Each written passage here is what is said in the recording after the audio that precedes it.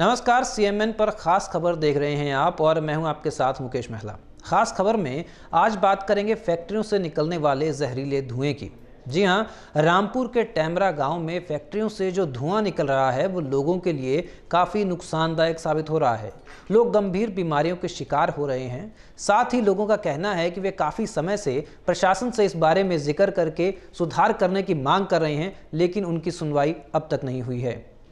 Problem क्या है ये जेपीएल जब से लगी है तो लोग बीमारियाँ मतलब फैल रही हैं अब। कोई टीबी का मरीज़ है कोई टीबी का है कोई कैंसर का है।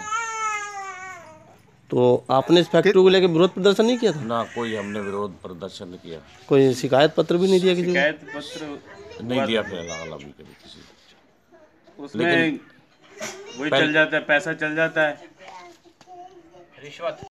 परेशानी जब से ये फैक्ट्री पहले बोला था इन्हों फैक्ट्री वालों ने भी हम इसको पानी को फ़िल्टर करके भेजेंगे नाले में।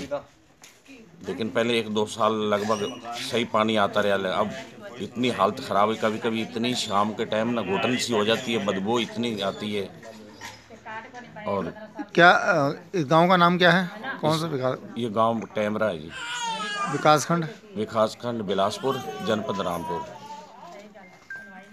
आपको बता दें कि निजी फैक्ट्रियों से निकलने वाले प्रदूषण और धुएँ से क्षेत्रीय किसानों को भारी नुकसान से जूझना पड़ रहा है। उनका कहना है कि वह फैक्ट्रियों से निकलने वाले जहरीले धुएँ की शिकायत कई बार अधिकारियों से कर चुके हैं लेकिन आज तक उनकी समस्या का समाधान नहीं हो पाया है। जिस कारण उनकी फ़सलों को तो भारी नुकसान हो ही रहा है साथ ही क्षेत्र के लोगों को स्वास्थ्य के रूप से गंभीर बीमारियाँ भी जकड़ रही हैं।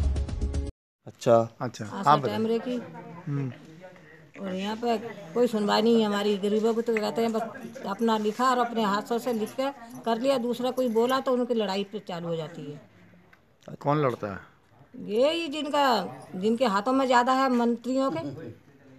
अच्छा ये जो फैक्ट्री है इससे क्या परेशानी आ रही है गाँव वालों को? इनको परेशानी जो बता रहे हैं वही परेशानी आ रही है। नाले में बदबू आती है सफ़ाई होनी चाहिए। सफ़ाई भी नहीं है या तो नाला साफ़ होना चाहिए। इतनी बदबू आती है खाना खाने को भी दिल नहीं करता जब आती है तो ऊपर से। अच्छा सबसे ज़्यादा बदबू खाने के टाइम पे शाम को आती है? शाम को सवेरे को जिस टाइम वो तो आती रहती है उसका क्या जिस दिन हवा चलती है तो सारा इधर को ही आता है। तो और ये धुएँ धुआँ भी आता है धुआँ भी आता है जब शाम को जो गैस छोड़ते हैं तो तो इस धुएँ से कौन कौन सी बीमारियाँ हो रही हैं? बीमारी सांस की है जैसे टीबी बन गई किसी को और लीवर में कमी आ गई इस तरह की सारी कमी आ रही है। अब क्षेत्रीय किसानों ने मुख्यमंत्री को शिकायत पत्र भेजकर आरोप लगाया है कि बिलासपुर के आसपास स्थित खासकर नैनीताल हाईवे और केमरी मार्ग पर दर्जनों निजी फैक्ट्रियाँ मौजूद हैं। जिनमें से कुछ तो प्लाईवुड फैक्ट्री हैं तो कुछ कामों के लिए लगाई गई हैं, जिनमें रसायन और केमिकल का इस्तेमाल किया जाता है। फैक्ट्रियों से निकलने वाले धुआँ पर्यावरण को तो दूषित कर ही रहा है और साथ साथ आसपास के इलाकों में फ़सलों के लिए जो इस्तेमाल होने वाली मिट्टी है उसकी उपजाऊ क्षमता को भी कम कर रहा है। सिंह। जी क्या समस्या है? समस्या ये है भी हमें काला पीलिया हो गया। किस वजह से? ये फैक्ट्री का गंदा नाला है उसमें पानी निकलता है।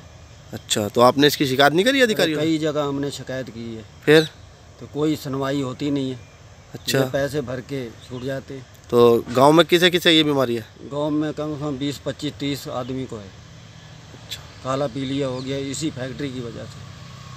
वहीं इस खबर पर ज़्यादा जानकारी के लिए हमारे संवाददाता सफदर हसन फ़ोन लाइन पर हमसे जुड़ चुके हैं। हसन साहब किस तरह के हालात हैं वहाँ पर? फैक्ट्रियों से निकलने वाला धुआँ कैसे परेशान कर रहा है किसानों को? सर आपको बताना चाहता हूँ बिलासपुर में एक डैमरा गाँव है वहीं पे है सर ये जीपीएल नाम से एक फैक्ट्री है तो वहाँ के ग्राम वासियों का कहना है इसका बराबर से जो गंदा पानी का नाला निकल रहा है उसी के गंदे पानी के नाले से हिसाब से वहाँ के पूरे गाँव के नलों का हैंड पंपों में सर दूषित पानी जा रहा है जिसे पीने से समस्त ग्राम वासियों को सर विभिन्न गंभीर बीमारियों से जूझना पड़ रहा है। जी। बहुत बदतर हालात है यहाँ के सर यहाँ तक कि सर काला पीलिया लीवर की समस्या हार्ट की बीमारी सर ग्रामवासियों का कहना है कि इसकी कई बार उच्च अधिकारियों शिकायत भी हो चुकी है लेकिन रिश्वतखोरी के चलते सर कोई नहीं सुनता हूँ। तो ए, ये किस कितने समय से जो है ऐसे हालात हैं वहाँ गाँव वालों के सामने हसन साहब? सर इन्होंने दो साल पहले गाँव वालों को भरोसा दिलाया था कि हम जो है ये पानी फ़िल्टर करके भेजेंगे।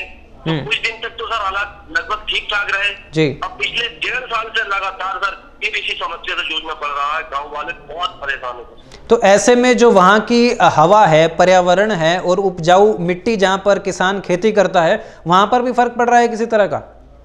बिल्कुल बिल्कुल बिल्कुल सर। यहाँ के पेड़ पौधे पूरी तरह से सूख रहे हैं। यहाँ की फ़सल आगे आप देख लीजिएगा कोई भी फ़सल अच्छी उपज पैदा नहीं कर रही और मिट्टी सर पूरी तरह से, मिट्टी का, इसका बहुत बुरा असर पड़ रहा है। इसका जो प्रदूषण निकलता है, जो धुआँ निकलता है सर, खासकर हरे भरे पेड़ों को, पूरी तरह से सुखा देता है पूरी तरह से सर। और अधिकारियों को जब इस बारे में आगाह किया गया स्थानीय लोगों द्वारा, हसन साहब तो किस तरह की प्रतिक्रिया आई? आपने कहा कि कुछ समय के लिए तो फ़िल्टर पानी का उन्हें दिया गया सहयोग, लेकिन उसके बाद वो भी बंद कर दिया गया। क्या प्रशासन की नज़र, के सामने ये सब चीज़ें उन्हें नज़र नहीं आ रही हैं, दिख नहीं रही हैं? सर सर, जैसे कि मैं पहले भी बता चुका हूँ कि गाँव वासियों का कहना है कि, सर, जब भी हम किसी से शिकायत करते हैं तो सर, जाँच जो है कागजों में पूरी कर ली जाती है और उन अधिकारियों को इस फैक्ट्री द्वारा अच्छा खासा मोटा पैसा दे दिया जाता है तो सर सारी जांचें बंद हो जाती हैं। उन्होंने बहुत गंभीर आरोप लगाए हैं सर। अब उन्होंने हार कर सर मीडिया का सहारा लिया ताकि हमारी आवाज़ किसी तरह से उच्च अधिकारी मुख्यमंत्री तक पहुँचे और हम सर हम इस बीमारी से छुटकारा पाए। जी बहुत बहुत शुक्रिया हसन साहब इस जानकारी के लिए। तो किस तरह के हालात हैं? आपने जाना कि लोगों ने शिकायत भी की है, उच्च अधिकारियों तक अपनी बात पहुँचाने की कोशिश भी की है और पिछले दो साल से वो इसी हालात में जी रहे हैं, जहाँ पर सांस लेना भी मुश्किल है, उपजाऊ क्षमता एक तरफ़ कम हो रही है और हैंडपंप से जो पीने का पानी है, वहाँ से भी दूषित पानी आ रहा है। इतनी मजबूरियों के बावजूद भी जब ये जानकारी प्रशासनिक अधिकारियों को स्थानीय लोगों द्वारा दी गई तो अब तक कार्रवाई क्यों नहीं हुई है? और कार्रवाई के नाम पर सिर्फ़ कागज़ी खानापूर्ति से क्या इस समस्या का हल निकाला जा सकता है? आप भी बेहतर जानते हैं और हम भी बेहतर जानते हैं। लेकिन प्रशासन से कहीं ना कहीं सीएमएन न्यूज़ भी यही गुहार लगा रहा है कि आप ज़रा नज़रें इस तरफ़ भी इनायत करें। फैक्ट्रियों से जो केमिकल धुआँ और जितने भी रसायन निकल रहे हैं, उन्हें या तो आप कंट्रोल करें और वहाँ पर रहने वाले लोगों के जीवन को थोड़ा सहूलियत भरा करने की कोशिश करें। इस बुलेटिन में फ़िलहाल इतना ही। आप देखते रहिए सी न्यूज़ नमस्कार।